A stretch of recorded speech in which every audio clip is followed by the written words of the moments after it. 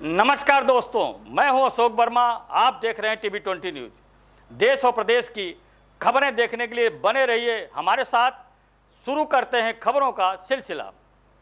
Police अधीक्षक आजमगढ़ सुधीर कुमार सिंह के कुशल निर्देशन व अपर पुलिस अधीक्षक ग्रामीण व क्षेत्राधिकारी फूलपुर के कुशल नेतृत्व में थाना अध्यक्ष संजय कुमार सिंह द्वारा थाना दीदारगंज एवं चौकी प्रभारी मार्टिनगंज, बाग बहादुर सिंह में फोर्स के साथ दो लोगों की गिरफ़्तार कर उनके पास से सर्वोदय महाविद्यालय से चोरी के कंप्यूटर में सीपीयू व बैटरी बरामद किया। तो वहीं दूसरी कार्रवाई में 26 अदद शीशी देसी शराब के साथ एक अभियुक्त को गिरफ़्तार कर लिया गया है।